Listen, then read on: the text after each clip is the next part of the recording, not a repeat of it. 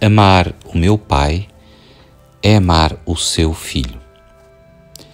Que eu não pense que posso achar o caminho para Deus se tiver ódio no meu coração. Que eu não tente ferir o Filho de Deus e pensar que posso conhecer seu Pai ou o meu ser.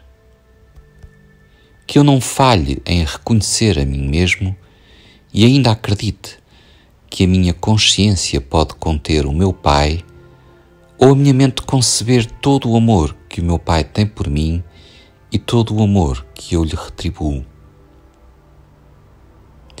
Aceitarei o caminho que escolheste para que eu venha a ti, meu Pai. Pois nisso terei sucesso, porque essa é a tua vontade. E quero reconhecer que o que é a tua vontade é também o que eu quero e só isso. E assim escolho amar o teu filho.